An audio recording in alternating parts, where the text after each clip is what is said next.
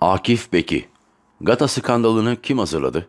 Sağlık Bakanlığı skandal paylaşımları ortaya çıkan Doktor Ali Edizer'i gecikmeden görevden aldı. Fakat tepkileri dindirmedi. Tartışma sürüyor. Edizer sosyal medyada nefret ve halkı birbirine, düşmanlığa tahrik suçları içeren mesajlarla tanınmıştı.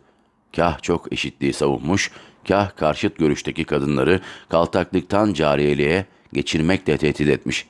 Kah Mesut Yılmaz gibi siyasileri gasilhanede bir avuç pamukla bekleyen imam hatiplilerle korkutmuş.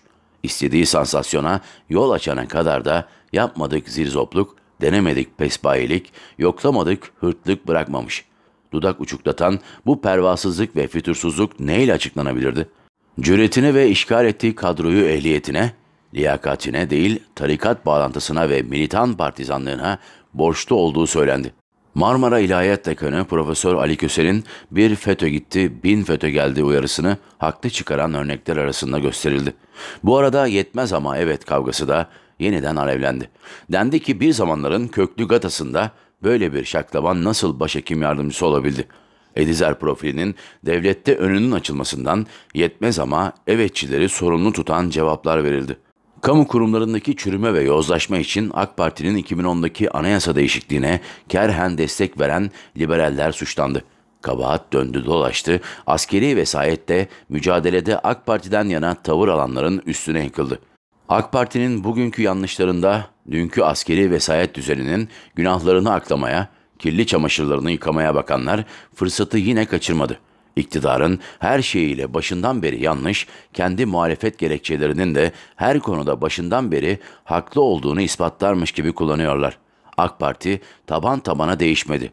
Yeni AK Parti eskisiyle kavga halinde değil. CHP'de hala eski CHP. Hatalarından ders alıp yenilenmedi sanki. Yeni AK Parti'yi eleştirenleri eskiden destekliyordunuz ama unutmadık diye güya sıkıştırıyorlar. Demirel'in tabiriyle dünkü güneşte bugünün çamaşırları kurutulabilir sanıyorlar. Kendi vesayetçi geçmişlerini AK Parti'yi büyütüp bugünlere getiren antidemokratik tutumlarını unutturmaya çalışıyorlar belki de. Buyurun size sık sık kızıştırılan tartışmanın taraflarından iki tweet. Cumhuriyet'ten Çağdaş Bayraktar.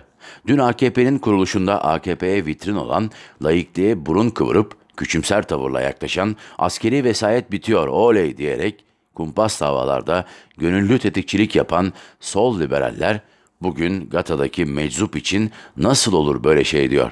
Sanki payları yokmuş gibi. Yetmez ama evetçiler adına Profesör Eser Karakaş Bugün Gata'dan bir doktor atıldı.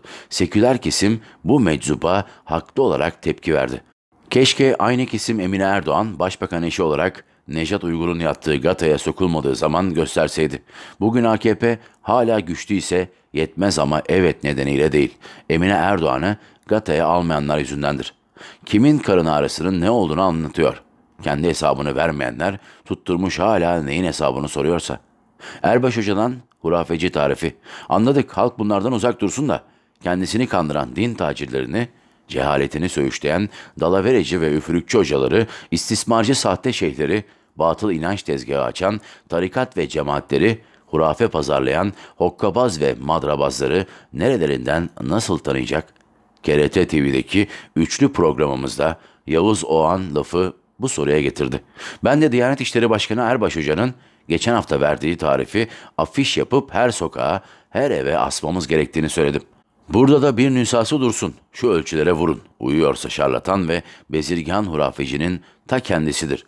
Eğer bir yerde masum ve hatasız kabul edilen kişiler varsa, doğru bilginin kaynağı şahıslar, rüyalar gibi subjektif şeylerse, bir takım kitaplar İslam'ın temel kaynaklarından çok daha itibar görüyorsa, hakikat tekelciliği yapılıyorsa, akıl, mantık ilkelerine ve ahlak değerlerine aykırı söylem ve davranışlar varsa, eleştirel düşünce kötüleniyor, sorgusuz teslimiyet isteniyorsa, biliniz ki orada İslam'dan başka bir inanç, başka bir anlayış egemendir.